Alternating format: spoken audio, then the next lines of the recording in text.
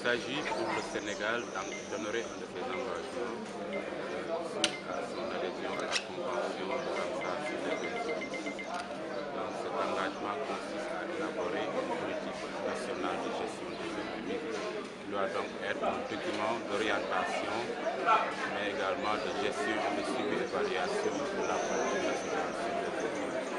Nous avons conçu ce processus plusieurs phases.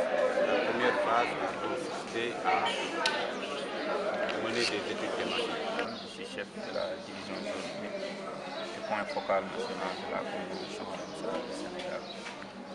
Je suis également au niveau du ministère chargé de suivre ce processus d'élaboration de cette politique nationale des humides du Sénégal qui entre dans le cadre d'un des engagements que l'État du Sénégal a pris, notamment à travers la résolution 77 sur l'étude des lois et des législations pour l'utilisation durable des, zones humides. Donc c'est en droite ligne de cet engagement de, de, l'État du Sénégal que nous avons lancé le marché de Wetlands International qui est le bras technique du secrétariat de la Convention Ramsar a gagné le marché et a en charge d'appuyer et d'accompagner l'État du Sénégal dans ce processus d'élaboration de cette politique. C'est vrai que nous avons fait une première partie concernant les, études thématiques euh, après avoir validé la démarche méthodologique qui nous a amené à, lister un certain nombre d'activités que nous devions mener au niveau national, mais aussi au niveau des, régions. Pour les activités au niveau national, il s'agissait de faire six études. Notre collègue de Wetlands International est revenu sur ça. Euh, ça concerne l'étude sur le foncier et le biocarburant, la présentation qu'il vient de faire, la caractérisation et la cartographie diachronique des zones humides, changement climatique et économie verte, urbanisation, assainissement et santé, euh, l'étude de la législation sur les zones humides et enfin l'étude relative à la sécurité alimentaire et à la lutte contre la pauvreté.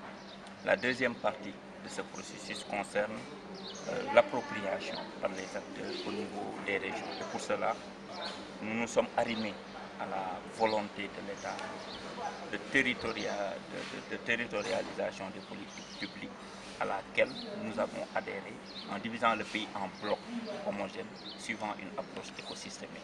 Là, à Saint-Louis, il s'agit fondamentalement de la zone de la vallée du fleuve Sénégal qui, comme vous le savez, regroupe les régions de Saint-Louis et de Matam.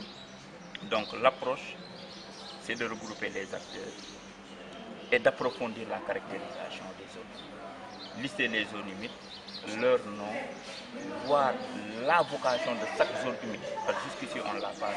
Les utilisations qui, en est faite, les contraintes auxquelles ces sites sont, confrontés, les initiatives prises aussi bien par l'État que par les acteurs communautaires, euh, les insuffisances par rapport à, ces initiatives prises, les acquis et sortir des solutions alternatives. Ces solutions alternatives nous permettront d'avoir un plan d'action quinquennal pour chaque jour. Mais au-delà de ces résultats auxquels nous comptons arriver, nous voulons entamer le processus de mise en place du comité zonal Ramsar. Le comité zonal Ramsar, c'est quoi? À l'instar du comité national Ramsar, qui regroupe l'ensemble des directions techniques de la société civile, des producteurs, euh, des, ONG, en gros, toutes les parties prenantes intéressées par la problématique de gestion des eaux.